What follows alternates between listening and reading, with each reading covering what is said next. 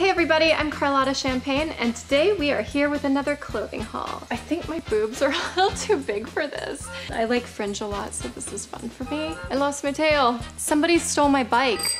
That is a very sexy Pocahontas. We are going to be doing some Halloween costumes and I thought that I would start with one that I did last year. I was a punk skunk. So last year I had like anarchy symbols all over me and I was like crazy black makeup and like spiked jackets. It was great. Basically, the only part of the real costume that I had to put together was getting some ears and getting a tail. I actually had a thing of silly string and I would spray people. It was really fun. You can do a lot of things with just some ears and a tail, but we got some other outfits to check out and there's some good ones, some that I put together, some that are bagged. We'll kind of talk about the good things and the bad things about all of these. Let's check out all my sexy outfits. And we're back. So I got these really awesome um, bag costumes from Starline LA. Really just very convenient if you need a quick costume, these are mostly like a one size fits all. They work quite well for what they are. This one is called the Maiden of the Throne. It's clearly Game of Thrones. It's supposed to be Daenerys or Khaleesi or whatever you wanted to call her. It's a great look for that. It's it's sexy, but it still covers. Um, I think my boobs are a little too big for this. They're trying to escape the costume, but I I think most people it'll fit them okay. I'm just kind of I'm a little curvy. I don't know. it's kind of got this cool like fetish feel to it. I like the, the strappy bondage feel. It makes it a little edgy and still exotic. So let's check it out.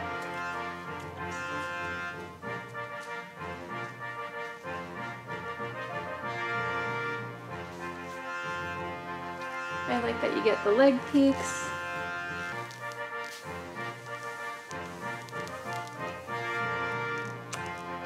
You guys will have to tell me which ones you like the most. And of course, there's a lot of stuff I can't show on YouTube.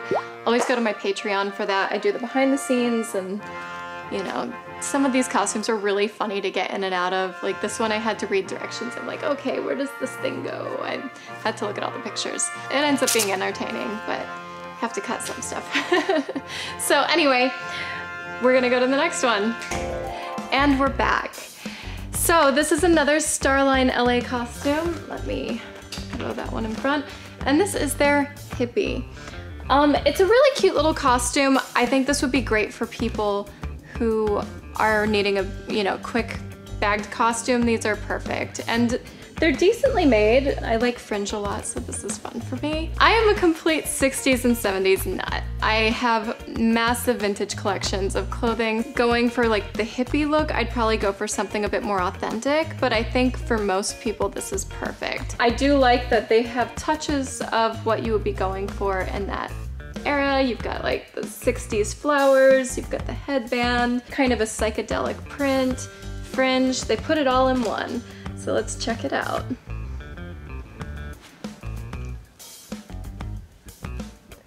I like the way Fringe moves. Makes it look like you know how to dance, which I do not, so don't tell anybody.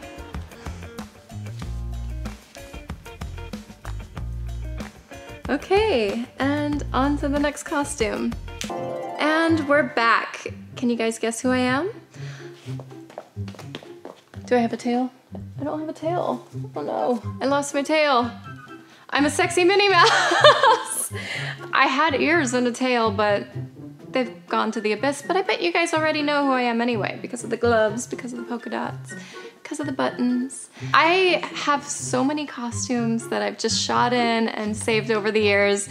And this is one of them. I can't bring myself to get rid of it. It's just so cute. I love the whole Minnie Mouse Disney thing and turning it sexy. There's something really naughty about it and I like that. Anything like Disney that you just kind of bring over the top I'm for it. I'm cool with that. So sexy Minnie Mouse is pretty perfect for me. If I was gonna wear this to like a party, I'd draw on like a little mouse nose and maybe some whiskers, but for now, you guys get the hint. You get the idea of what it's supposed to be. Let me know what you think. Let me know which outfit's your favorite.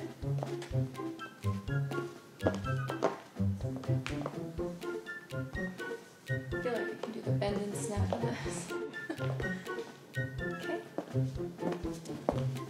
I think that we are probably assuming that Minnie is the most bangable, but I actually always really like Daisy Duck.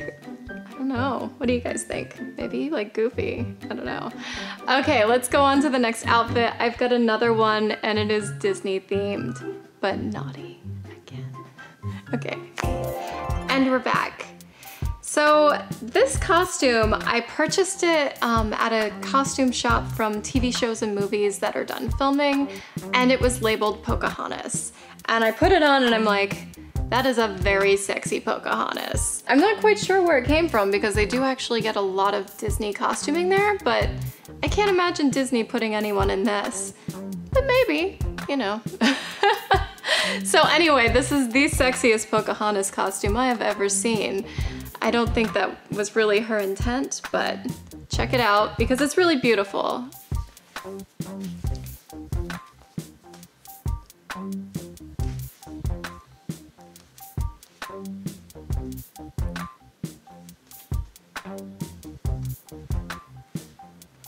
The beadwork, the feather work, I don't know if it's quite as uh, native as they're going for. It's definitely costumey, but it's actually done really well. You can tell that it was done for production. So I hope you guys like it. This one's definitely one of my favorites, um, but I don't find a lot of places to wear it. So it just kind of sits in my collection. I have a very large collection of showpieces specifically at home. So this one just sort of stays in with them. And eventually it will find the right moment to make its appearance next outfit, it's gonna be my last outfit and it's a fun one, so stay tuned. Can you guys guess who I am? I'll give you a hint. Somebody stole my bike and I'm pretty sure it was you. Actually, I'm pretty sure it was Francis. So if you guys can guess, I'm a pinup Pee Wee Herman. This is something I decided to put together for Comic-Con. It's perfect for conventions. It's perfect for Halloween. It's perfect for cosplay. There's so many things you can do with it. Um, I forgot my top though, so we're just going with a bra. But we said this was a sexy haul, so we're sticking to our theme. Um, let me just toss this. Okay, so, so this is just an apron that, um, there's a girl on Etsy that makes these, and I just thought, oh my gosh, that would be the cutest pinup thing.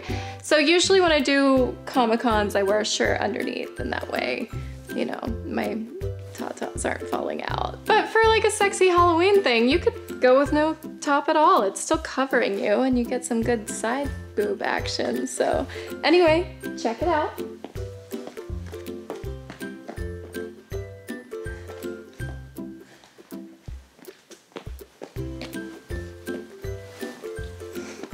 Like I said, bag costumes are great, especially if you are in a rush.